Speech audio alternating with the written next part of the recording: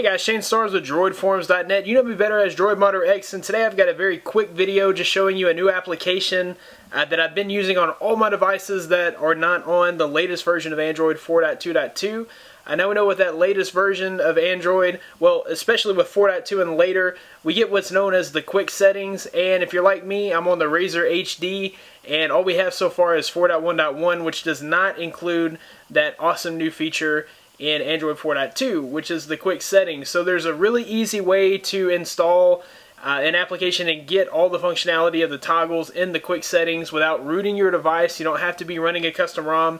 In this particular case, I am running the Black Widow HD ROM on the Razr HD, but you don't have to be rooted or uh, running a custom ROM or anything to run this application. So what you want to do is head to the Play Store and you're searching for uh, quick settings, and to make it easier, you could search for My Droid Development.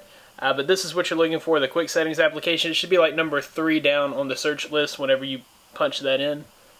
And you'll just install that. And once you install that, you'll open it and it'll automatically turn on the quick settings functionality. So now if we go back to the home screen, if I pull down my notification bar, you notice now I have the quick settings toggles button there. If I touch that, now I have all my quick settings. I can easily uh, do things like adjust brightness. I can turn my Wi-Fi on and off. I can adjust my ringer mode. I can turn on the torch like so. Um, really just it's awesome uh, to be able to have this 4.2 functionality in a phone that only supports 4.1.1. So big shout outs to MyDroid Development for creating this application. He's got several others uh, that I may cover, uh, like he has the custom power menu, which is pretty cool. Most of the time you have to be running a custom ROM to get that. Uh, but there's several other modifications that don't require root, don't require you to be hacked in any way.